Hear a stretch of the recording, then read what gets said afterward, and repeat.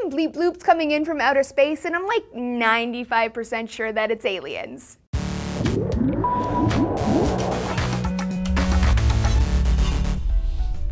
Hey everyone, Laci Green here for D News. In 2012, a space observatory in Australia detected strange radio waves coming in from deep in outer space. The waves were a fraction of a second, dubbed fast radio bursts or FRBs, and now they've been picked up again at the Arecibo Observatory in Puerto Rico. This observatory boasts the largest and most sensitive radio telescope in the world. It spans across 20 acres. The new detection is raising major questions about where the heck the waves are coming from. Before the waves were picked up in Puerto Rico, there was some speculation that they could be coming from Earth Earth, but that's out now that we know that there's a second source. We now know with relative certainty that the bursts are coming from deep in space and probably outside of our galaxy. They think it's coming from outside the Milky Way because all of the initial bursts were more than 40 degrees from the galactic plane, making the likelihood of them coming from inside our galaxy pretty low. Estimates for the first detection suggest that the waves have come a really long distance, around 9 billion light years away. But that's about where our knowledge ends and where the mystery begins. So at this point, scientists really have no idea what's causing these fast radio bursts. The bursts are so fast that it's hard for our technology to even detect them. They estimate that if we could actually pick up all of the bursts out there, there would be around 10,000 of them every day all over the sky. Picking up on more of those bursts would be mighty helpful to figure out what's going on here. So as for the theories and hypotheses out there, aliens, aliens, an alien radio station, 10,000 alien radio stations, yeah, I'll keep dreaming. To the dismay of every conspiracy theorist and extraterrestrial life enthusiast,